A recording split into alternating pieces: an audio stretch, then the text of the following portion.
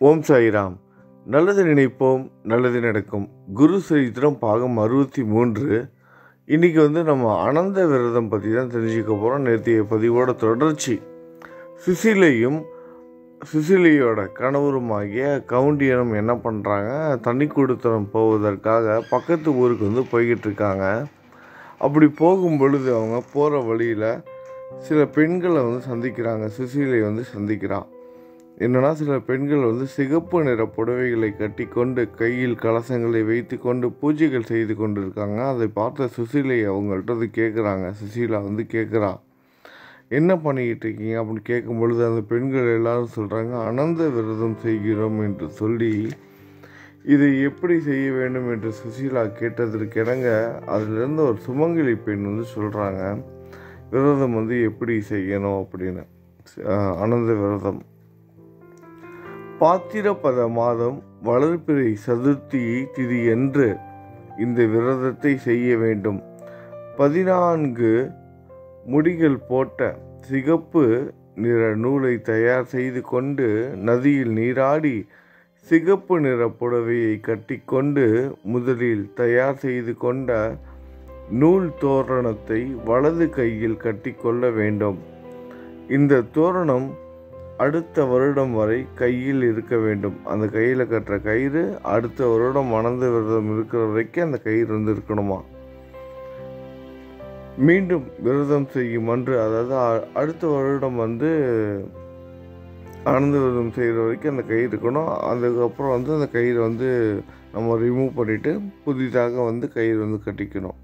இதான் சொல்கிறாங்க மீண்டும் அடுத்த வருடம் விரதம் இருக்கும் பொழுது அன்று அதை அவிழ்த்து புது தோரணத்தை கையில் கட்டி கொள்ள வேண்டும். ஒரு சொம்பில் நீரை நிரப்பி அதில் மா இலைகளை போட்டு அதாவது மாமரத்தோட இலைகளை போட்டு சந்தனத்தினால் ஓர் புது துணியின் மேல் தாமரை பூவை வரைந்து சொம்பை துணியின் மேல் வைக்க வேண்டும். ஒரு துணியின் மேலே வந்து என்ன பண்ணணும்? சந்தனத்தால் ஒரு தாமரை பூவை வந்து வளர்ந்து வரைந்து வச்சுக்கணும். அந்த துணியின் மீது வந்து ஒரு சொம்பை எடுத்து வைக்கணும். அந்த துணியின் மீது. அப்படி வைத்த பிறகு தர்பையினால் நம்ம எல்லாருக்கும் தெரியும் இந்த தர்பைங்கிற அந்த ஒரு புல் தர்ப்பணம் கொடுக்கறதுக்கு அந்த தீர்த்த நதிகள்லாம் நதிகள் எல்லாம் போய் நம்ம முன்னோர்களுக்கு பித்தர்களுக்கு வந்து பூஜை செய்யும் போதெல்லாம் கூட அந்த இது வந்து பார்த்துருப்போம். அப்புறம் யோக சாலைகள் அப்புறம் நம்ம வீட்டில் ஏதாவது கணபதி ஹோமம்லாம் வளர்க்கும்போது அந்த தர்பை புல் வந்து பார்த்துருப்போம். அதான் சொல்கிறாங்க தர்பையினால் பாம்பு போல் ஒன்றை செய்து கலசத்தின் மேல் வைக்க வேண்டும். பிறகு சேஷயனியான நான்கு புஜங்கள் கொண்ட ஸ்ரீ மகாவிஷ்ணுவை அனந்தனாக பாவித்து அவரை அந்த கலசத்தில் இருக்கிறார் என்று நினைத்து பூஜை செய்ய வேண்டும். பிறகு கோதுமையினால் செய்த பண்டங்களை படைத்து ஒரு வேதம் தெரிந்த பிராமணருக்கு தன் சக்திக்கு தகுந்தாற்போல் தட்சணையுடன் தானம் செய்ய வேண்டும். இப்படி பதினான்கு வருடங்கள் பதினான்கு கலசங்களை தானம் செய்தால் எல்லா வளமும் பெற்று சுகமுடன் வாழ்வார்கள். ஆகையால் நீயும் இன்று இங்கே விரதத்தை செய்ய வேண்டும் என்று ஒரு சுமங்கலி பெண் வந்து சுசீலாவுக்கு வந்து சொல்கிறாங்க சுசீலையும் என்ன பண்ணுறாங்க அந்த ஊருக்கு போகிற வழியில் அவங்க அந்த பெண்கள் செய்கிற அந்த பூஜையில் வந்து கலந்துக்கிறாங்க. ஆனந்த விரதத்தில் கலந்துக்கிட்டு அவங்களும் வந்து இந்த விரதத்தை வந்து செய்கிறாங்க சுசீலையும் அங்கே அனந்த விரதத்தை செய்து அங்கிருந்து புறப்பட்டாள். அப்படி செல்கையில் வழியில் ஓர் பட்டினத்தில் அவர்களை பார்த்து இங்கே பூஜைகள் செய்ய பிராமணர் யாரும் இல்லை. ஆகையால் நீங்கள் எங்கள் ஊரில் தங்குங்கள் என்று வேண்டினார்கள். இப்படி இவங்க அவங்க ஊர்லேருந்து போய்கிட்டு இருக்கும் பொழுது ஏதாவது ஊரில் போயிட்டு நம்ம தஞ்சம் அடைந்து அங்கே நம்ம போயிட்டு புதிய வாழ்க்கையை தொடரலான்னு போயிட்டு இருக்கும் பொழுது போகிற வழியில் ஒரு பட்டினம் அந்த ஊர் ஒரு ஊரில் வந்து இவங்க கடந்து போயிட்டு இருக்கும்போது என்ன பண்ணுறாங்க இங்கே வந்து பிராமணர்கள்லாம் இல்லை. நீங்கள் வந்து இங்கேயே இருங்க. ஏன்னா இந்த பூஜை செய்யறதுக்கான ஆட்கள்லாம் இங்கே ரொம்ப கம்மியாக இருக்காங்க. அதனால் இங்கேயே இருங்கன்னு போகிற வழியில் அந்த மக்கள் ஒரு சில பேர் சொல்கிறாங்க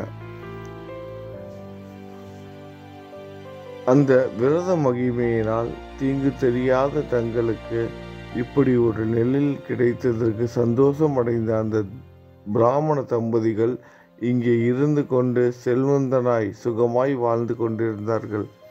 அடர்ந்த விரதம் இருந்ததுனால தான் இப்படி ஒரு வாய்ப்பு அவங்களுக்கு வந்து கிடைச்சதுன்னு அவங்களும் அதை நம்புகிறாங்க போகிற வழியில் அவங்க எங்கே போகிறதுனே தெரியாமல் வந்து போனாங்க. சொந்த பிறந்ததுலேருந்து அவங்க வந்து அங்கேயே தான் இருக்காங்க. தன்னோட தாய் தந்தையர்களை விட்டு விட்டு சுசீலா வந்து போகிறா தாய் தா தாய் ஏற்கனவே சின்ன வயசில் இறந்துட்டாங்க. தந்தையோட வளர்ப்புலேயே தான் இருக்கா. கவுண்டியனான அவரோட கணவருக்கும் வந்து பெரிதாக சொந்தக்காரங்களும் யாரும் கிடையாது. எங்கே போகிறதுனே தெரியாமல் சு சுசீலாவோட அப்பா தந்தை கொடுத்து அந்த கொஞ்சோண்டு கோதுமையை மட்டும் கையில் எடுத்துக்கிட்டு அவங்க வந்து போய்கிட்டு இருக்காங்க. போகிற வழியில் இந்த சுமங்கலி பூஜை அதாவது அந்த அனந்த பூஜையை செய்ததன் மகி மகிமையினால் இவங்களுக்கு தங்கிறதுக்கு ஒரு இடம் வந்து கிடச்சிருக்கு. ஊர் மக்களே என்ன பண்ணுறாங்க தடுத்து நிப்பாட்டி நீங்கள் எங்கேயே தங்கிடுங்க எங்கே போயிட்டுருக்கீங்க? இங்கே பூஜை செய்வதற்கெல்லாம் பிராமணர்கள் வந்து தட்டுப்பாடாக இருக்குது இங்கேயே தங்குங்கன்னு சொன்னதுனால அவங்க அந்த ஊர்லேயே தங்குறாங்க. தங்கி அங்கே இருக்க அந்த பூஜைகள்லாம் செய்து கொண்டு நல்ல வாழ்க்கையை அமைத்து கொள்கிறாங்க அனைத்து செல்வங்களும் கிடைக்கிது. செல்வ செழிப்போடு சுகமாய் வந்து வாழ்ந்துக்கிட்டு இருக்காங்க. ஒரு நாள் கவுண்டியன் மனைவி கையிலிருந்த அந்த விரத தோரணத்தை பார்த்து இதென்ன சிகப்பு கயிறு? நீ என்னை வசியப்படுத்த கொள்ளவே கட்டி கொண்டாயான்னு கே கேள்வி கேட்க ஆரம்பிக்கிறான் கவுண்டியன் என்ன பண்ணுறான் தன் மனைவியான சுசீலாவை பார்த்து கேட்குறான் நீ கையில் என்ன இது சிகப்பு கலராக வந்து கயிறு கட்டியிருக்க? நீ என்ன வசியம் பண்ணுறதுக்காக தான் இந்த கயிறை நீ கையில் கட்டியிருக்கியான்னு கேட்டு கொஞ்சம் வாக்குவாதம் மாதிரி போகுது. சுசீலா இது அனந்த விரத தோரணம் என்றும் அந்த விரதம் செய்து இதை கையில் கட்டியதால் தான் நமக்கு இந்த செல்வமும் சுகமும் கிடைத்தது என்று சொல்கிறான் அந்த விரதத்தை நம்ம செய்ததுக்கு அப்புறமா தான் தங்குறதுக்கு ஒரு இடம் கிடைத்தது. இப்போ நம்ம அனைத்து செல்வ வளங்களோட வாழ்கிறோம் அப்படின்னா அந்த விரதம் வந்து ரொம்ப ரொம்ப முக்கியமானது. அதனால தான் இப்படி ஒரு வாழ்க்கை கிடச்சிருக்குன்னு அவன் வந்து சொல்கிறான் இந்த செல்வமும் சுகமும் கிடைத்தது அப்படின்னு. ஆனாலும் அவன் அதை ஏற்றுக்கொள்கிற மாதிரி இல்லை. இந்த தோரணத்தை இப்பயே பிடுங்கி நீ போடு அப்படின்னு சொல்லிக்கிட்டு என்ன பண்ணுறான் அவளோட கையில் இருந்த அந்த சிறப்பு சிகப்பு கயிறை பிடுங்கி நெருப்பில் வந்து போட்டுடுறான் அதனால் அவனுக்கு மீண்டும் கெட்ட நேரம் வந்து ஆரம்பிக்குது. சில திருடர்கள் இரவு நேரத்தில் அவனோட வீட்டிற்குள் வந்து எல்லாத்தையும் எடுத்துகிட்டு போயிட்டாங்க. அப்பொழுது தனக்கு தனக்கு திடீரென்று வந்த இந்த இன்னல்களுக்கு காரணம் அனந்தனை நிந்தனை செய்ததினால்தான் அவன் அப்போ வந்து உணர்றான். அனந்த விரதம் அதாவது விஷ்ணுவை வந்து நம்ம வந்து பழித்து பேசிட்டோம். அனந்த விரதம்ங்கிறது விஷ்ணுவுக்காக இருக்கிற விரதம். அந்த கயிறை நம்ம கிளட்டினதுனால விஷ்ணு பகவானை வந்து நம்ம வந்து அவமதிச்சிட்டோம். அதனால தான் நமக்கு இந்த எதிர்பாராத இந்த இன்னல் இந்த கஷ்டத்தில் நம்ம சந்திக்க நேரிட்டதுன்னு தெரிந்து கொள்கிறான். அவரை பார்த்து சரணடையும் வரை நீர் ஆகாரம் இல்லாமல் இருப்பேன் என்று எண்ணி ஆனந்தனை காண சென்றான். நான் விஷ்ணுவை நேரடியாக சந்தித்து சரணடைந்து அது வரைக்க நான் மன்னிப்பு கேட்குற வரைக்க அவற்றை சரணடைகிற வரைக்க நீர் ஆகாரம் இல்லாமல் இருப்பேன் என்று அனந்தனை காண செல்கிறான். அவன் அனந்தன் எங்கே என்று கத்திக்கொண்டு காட்டுக்குள் ஓடிக்கொண்டிருந்தான். வழியில் பூவும் பூக்காமல் காயும் காய்க்காமல் இருந்த மாமரத்தை பார்த்தான். அதிசயமாக அதன் மேல் ஒரு பறவை கூடிக அதன் மேல் அது அதிசயமாக அதன் மேல் ஒரு பறவை கூட காணவில்லை. ஒரு பறவை கூட இல்லை ஒரு மாமரத்தை போகிற வழியில் பார்க்குறான் ஆனந்தன் எங்கே எங்கேன்னு காட்டுக்குள்ளே ஒரு காட்டுக்குள்ளே வந்து கத்திக்கிட்டே போகிறான் அந்த காட்டுக்குள்ளே வந்து ஒரு மாமரத்தை பார்க்குறான் அந்த மரம் எப்படி இருக்குன்னா பூவும் பூக்காமல் காயும் காய்க்காமல் இருக்கு. ஒரு பறவை கூட அதில் வந்து கூடு கூட கட்டல. அந்த மரத்திடம் அனந்தன் எங்கே இருக்கிறார்? என்று கேட்டதற்கு அது எனக்கு தெரியாது என்று கூறி அவரை பார்த்தால் அவரிடம் என்னை பற்றி தெரிவியுங்கள் என்று சொல்கிறது. அந்த மரம் சொல்லுது எனக்கு அனந்தன் எங்கே இருக்காருன்னு தெரியல. நீங்கள் அவரை பார்த்தீங்கன்னா என்னை பற்றி சொல்லுங்கன்னு சொல்லுது அந்த மரம். அவன் சற்று தொலைவு தூரம் போகையில் அங்கு புல் நிறைந்த வயலில் பசுவும் கன்றும் புல்லை தின்னாமல் மெலிந்து நின்று கொண்டிருக்கிறது. புல் நிறைந்த ஒரு வயல் வழியில் நடந்து போயிட்டு இருக்கான். ஆனந்தனை தேடி போகும்பொழுது அந்த புல் வெளியில் வந்து புல் வயல் புற்கள் நிறையா வளர்ந்துருக்கு. ஆனால் ஒரு பசுவும் ஒரு கன்றுக்குட்டியும் நின்றுட்டு ஆனால் பிள்ளை வந்து திங்கலை. அது ரொம்ப நாள் சாப்பிடாம இருந்திருக்கும் போல். அதனால் உடல் மெலிந்து எலும்பும் தோலுமாக நின்று கொண்டிருக்குது. அதை பார்த்து அனந்தன் இங்கேன்னு அவன் கேட்குறான் கவுண்டியன்? அப்பொழுது அந்த பசுவும் கன்றுக்குட்டியும் சொல்கிறது எனக்கு தெரியாது. அவரை பார்த்தால் நான் புல் வயலிலிருந்தும் புல்லை தின்ன முடியாத என் நிலையை அவரிடம் கூறுங்கள் என்று சொல்கிறது. இன்னொரு இடத்தில் அப்படியே இருந்த எருதை பார்த்து அதையும் அனந்தன் எங்கே? என்று கேட்டான். அதுவும் முன்பு சொன்னது போல் சொன்னது. சற்று தொலைவு சென்றால் அங்கே இரண்டு குளங்களை பார்த்தான். இரண்டு குளங்களில் இருந்த தண்ணீர் ஒன்றிலிருந்து ஒன்றிற்கு போய்க்கொண்டு இருந்தன. ஆனால் அந்த குளங்கள் அருகில் ஒரு கொக்கும் காணப்படவே காணப்படலை. ரெண்டு குளங்களை பார்க்குறான். ரெண்டு குளத்துலையும் தண்ணீர் இருக்குது ஒரு குளத்துலேருந்து இன்னொரு த குளத்திற்கு வந்து கனெக்ஷன் இருக்குது தண்ணீர் மாறி மாறி போய்கிட்டு இருக்கு. ஆனாலும் வந்து அங்கே வந்து ஒரு கொக்கோ ஒரு பறவையோ எதுவுமே இல்லை. அந்த நீர்நிலையில். அந்த குளத்திடம் வந்து கேட்குறான் அதுவும் எனக்கு தெரியாது. பார்த்தா நீங்கள் எனக்கு சொல்லுங்கள் அப்படின்னு அந்த குளங்களும் சொல்லுது. என்னோட நிலைமையை பற்றி ஆனந்தன்ட்ட வந்து சொல்லுங்கன்னு அந்த குளங்களும் சொல்லுது. பிறகு கழுதையையும் ஒரு யானையையும் பார்க்குறான். அதுவும் தங்களுக்கு அனந்தன் எங்கும் தென்படவில்லை என்று கூறின. அப்பொழுது கவுண்டியன் அனந்தனின் தரிசனம் கிடைக்காததால் மனம் துவண்டு வேதனையில் அங்கே வந்து உட்காடுறான் அப்பொழுது பக்தபக்ஷலான அனந்தரே ஒரு முதியவர் வேடத்தில் விஷ்ணு பகவான் வந்து ஒரு முதியவர் வேடத்தில் அவனுக்கு காட்சி கொடுத்து அங்கு வந்து அவனை எழுப்பி கவலைப்படாதே அனந்தனை காண்பிக்கிறேன் வான்னு சொல்லிட்டு அந்த முதியவர் வந்து கையை பிடிச்சி கூட்டிகிட்டு போகிறாரு விஷ்ணு பகவானே. மாறு வேடத்தில் வந்து வந்து அவனை கையை பிடிச்சி வந்து கூட்டிகிட்டு போகிறாரு கையை பிடித்து கொண்டு சென்று ஒரு அழகான நகரத்திற்கு கூட்டி சென்று அரச மாளிகைக்குள் சென்று ரத்தின சிம்மாசனத்தில் அமர்ந்திருந்த பகவான் ஆனந்தனை காண்பித்தார். அவரின் அற்புத சுரூபத்தை பார்த்து மனமுருகி அவரின் பாதங்கள் மேல் விழுந்து வணங்கி அவரை துதித்தார். விஷ்ணு பகவானோட பாதங்களை பற்றி கொண்டு அவரோட அற்புதமான சொரூபத்தை பார்த்து மனமுருங்கி துதிக்கிறார் கவுண்டியன். அப்பொழுது அனந்தன் அவனை ஆசீர்வதித்து விஷ்ணு பகவான் அவனை வந்து ஆசீர்வதித்து எல்லா வளமும் பெற்று சுகத்துடன் நீரோடி வாழ்வாய் என்று ஆசி வழங்கினார். அப்பொழுது கவுண்டியன் விஷ்ணு பரமாத்மாவை அனந்தனை பார்த்து தான் காட்டில் பார்த்த விந்தைகள் பற்றி தெரிவித்து அவை ஏன் அப்படி இருக்கின்றன? என்று கேட்டான். அதற்கு திருமால் ஒரு பிராமணன் வேதங்கள் சாஸ்திரங்களை கற்று அவற்றை யாருக்கும் சொல்லிக் கொடுக்காமல் இருந்ததினால் இந்த பிறவியில் யாருக்கும் உபயோகப்படாத மாமரம் ஆகினான் அந்த மாமரம் முதல்ல இவர் வந்து பார்த்தார்ல இந்த கவுண்டியன் பார்த்தார்ல அந்த மாமரம் யாருக்கும் உபயோகப்படாமல் பூவும் பூர்க்காமல் பழமும் காய்க்காமல் அந்த மரத்தில் ஒரு கூடு ஒரு பறவை கூட கூடு கட்டாமல் எதற்குமே உபயோகப்படாத அந்த ஒரு மரமாக அந்த மாமரம் வந்து வளர்ந்து நிற்கிது எதனாலனா போன பிறவியில் வேத சாஸ்திரங்களை கற்றுக்கொண்டு அதை யாருக்குமே அவன் அதாவது நல்லதை அவன் கற்றுக்கிட்ட கல்வியே வேறு யாருக்குமே போதிக்காமல் இருந்ததுனால இந்த பிறவியில் வந்து அவன் எதுக்குமே உபயோகம் இல்லாத ஒரு மரம் ஆகிட்டான் அடுத்ததாக சவுட்டு நிலத்தை தானம் செய்யாமல் இருந்ததினால் புல்லை தின்ன முடியாத பசுவாக பிறந்திருக்கிறான் அந்த புல் வந்து என்றால் சவுட்டு நிலத்தை தானம் செய்ததினால் இந்த ஜென்மத்தில் வந்து புல்லை வந்து திங்க முடியாமல் ஒரு பசுவாக வந்து இருக்கிறான் அப்படிங்கிற விஷயத்தையும் சொல்கிறாரு அந்த புல்லை திங்க முடியாமல் இருக்கிற அந்த பசுவும் அந்த கன்றுக்குட்டியும் போன ஜென்மத்தில் செய்த பாவத்தை பற்றி சொல்லி புரிய வைக்கிறாரு. அடுத்ததுனா அடுத்தது வந்து செல்வந்தனாக இருந்தும் யாருக்கும் தானம் செய்வ செய்யாமல் இருந்ததுனால தான் அந்த எருது வந்து நின்றுக்கிட்டு இருந்தது.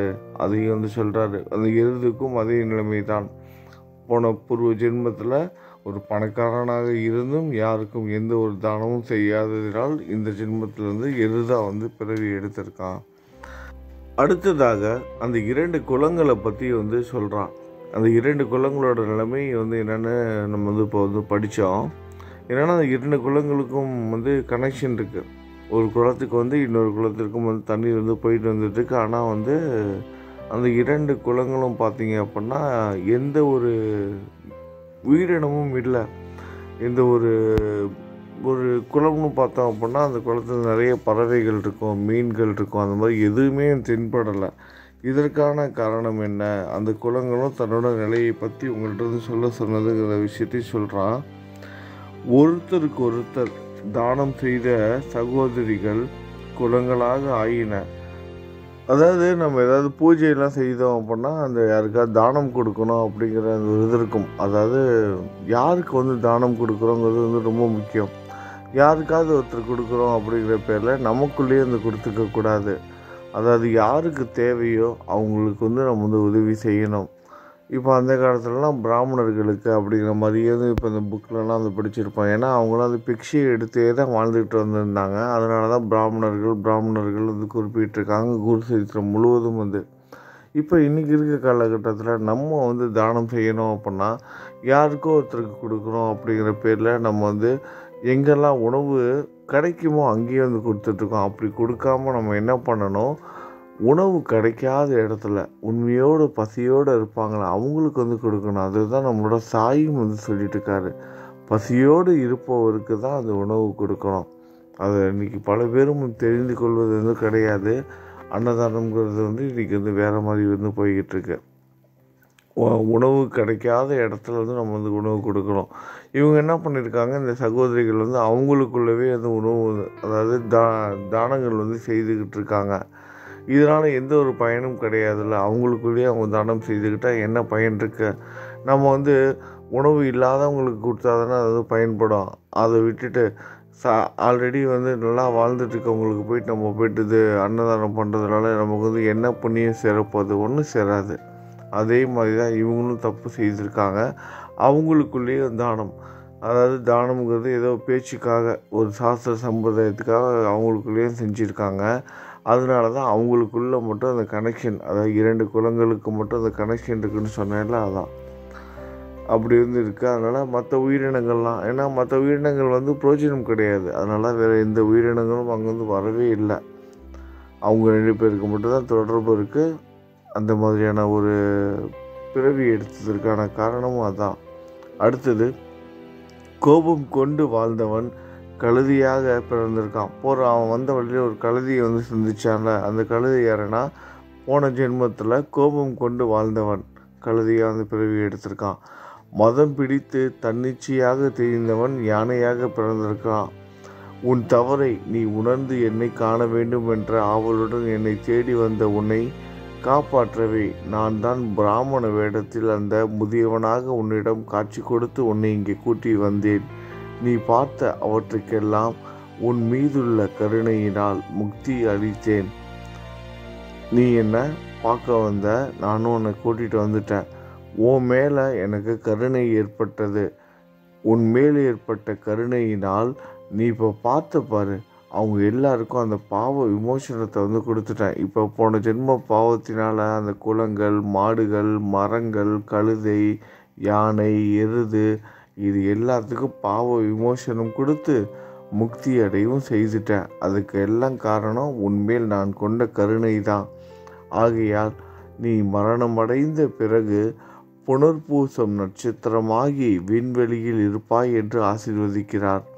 அதனால் நீ மரணமடைந்த பிறகு புனர்பூசம் நட்சத்திரமாகி புனர்பூசம் நட்சத்திரமாகி விண்வெளியில் ஜொலிப்பாய் என்று ஆசீர்வதிக்கிறாய். திரு கண்ணன் சொன்ன இந்த கதையை கேட்ட தர்மராஜா அவர்கள் அனந்த விரதத்தை செய்து அதன் மகிமையினால் போரில் கௌரவர்களை கிருஷ்ண பரமாத்மா சொன்ன இந்த கதையை கேட்ட தர்மன் இந்த கதையை வந்து யார் சொன்னால் தர்மனுக்கு பஞ்ச பாண்டவர்களில் மூத்தவரான தர்மனுக்கு வந்து இந்த கதையை வந்து கண்ணபிரான் கிருஷ்ண பரமாத்மா சொல்கிற இந்த கதையை கேட்ட தர்மன் அவர்கள் எல்லாரும் அவங்க என்ன என்ன பண்ணுறாங்க திரௌபதியோடு சேர்ந்து அனந்த விரதத்தை செய்து அதன் மகிமையினால் போரில் கௌரவர்களை வென்று துரியோதனை வென்று மீண்டும் அரசாட்சியை நாட்டை கைப்பற்றாங்க. ஆகையால் சாயம் தேவனை ஆகிய நீயும் இந்த விரதத்தை செய்யணும் நரசிம்ம சரஸ்வதி அவர்கள் சாயம் தேவனுக்கு வந்து சொல்கிறாரு சாயம் தேவன் தான் கேட்டார் முதல்ல நான் ஏன் வந்து இந்த விரதத்தை வந்து இருக்கணும்? நீங்களே வந்திருக்கீங்க இந்த தத்ரேயோட மும்மூர்த்தியோட அவதாரமான. நீங்கள் இருக்கும் பொழுது நான் உங்களுக்கு விரதம் இருந்தால் பார்த்தாதா நான் ஏன் அனந்த விரதம் இருக்கணும்னு கேட்டதற்கு நரசிம்ம சரஸ்வதி அவர்கள் இல்லை நீ இந்த விரதம்லாம் இருக்கணும் அப்படிங்கிற அந்த ஒரு உண்மையை எடுத்து கூறுறாரு. நம்ம நிறைய விஷயம் தெரிஞ்சுக்கணும். அதாவது நம்ம சாயிங்கிறவர் நம்மளோட வழிகாட்டி. அவர் குருவாக எடுத்துக்கிட்டு நம்ம மூதாதையர்கள் கடைப்பிடித்த விரத முறைகளை நம்ம தினந்தோறும் வந்து செய்துக்கிட்டே வரணும். வாய்ப்பு கிடைக்கும்போது நம்மளோட முன்னோர்கள் போயிட்டு வந்த கோவில்கள் முக்கியமான கோயில்களுக்கெல்லாம் அங்கே போயிட்டு வரணும். நிறைய விஷயம் பேச வேண்டியது இருக்குது அதனால் நம்ம சாய் மோட்டிவேஷன் பதிலிருந்து பார்க்கலாம். குரு சொன்னபடியே நரசிம்ம சரஸ்வதி அவர்கள் போதித்தபடியே சாயம் தேவனும் அவன் மகனான நாகதேவனும் இந்த விரதத்தை செய்தார்கள். அன்று முதல் கனகாபுரத்திலேயே அதாவது கந்தர்வபுரத்திலேயே தன் குடும்பத்தை இருக்க செய்து சாயம் தேவன் நித்தமும் மடத்தில் குரு சேவை செய்து கொண்டிருந்தார். அப்படிப்பட்ட பக்தனின் வம்சத்தில் நீ பிறந்ததினாலேயே அதாவது நாம தாரகன்ட்ட சொல்கிறாரு சித்தமுடிவர் அப்படிப்பட்ட வம்சத்தில் நீ வந்து பிறந்திருக்க உன்னோட முன்னோர்கள் இப்படிப்பட்டவங்க குருவின் மீது தீராத பக்தி கொண்டவங்க திடமான நம்பிக்கை கொண்டவங்க அந்த பிறவியின் பயனாகவே அப்படிப்பட்ட முன்னோர்களின் வழியில் நீ தோன்றியதாலேயே நீயும் குருவின் கடாட்சத்தை பெற்றாய் குருவியோட ஆசீர்வாதத்தை பெற்றாய் என்று சித்தமுனிவர் சொல்கிறார். இதோட இந்த அத்தியாயம். இந்த பாகம் முடிவிற்கு வர்றது பாகம் அறுபத்தி மூன்று. நாளைக்கு நம்ம அடுத்த பாகத்தில் சந்திப்போம்.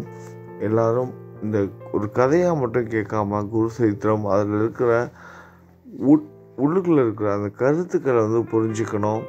நம்ம எல்லாம் எப்படி சரியாக புரிஞ்சுக்கிறோங்கிறது தான் இருக்குது ஏன்னா சாய் வந்து இதற்கான விளக்கத்தை கொடுத்துருக்காருன்னா சாதாரணமான விஷயம் கிடையாது. இது ஏதோ கதை கேட்பதோட மட்டும் இல்லாமல் இது உள்ளுக்குள்ளே இருக்க ஒவ்வொரு பொருளையும் தீர சிந்தித்து செயல்பட்டால் நம்மளோட வாழ்க்கையில் எல்லாமே நல்லதாகவே நடக்கும். நல்லது நினைப்போம் நல்லதே நடக்கும். ஓம் சாய்ராம்.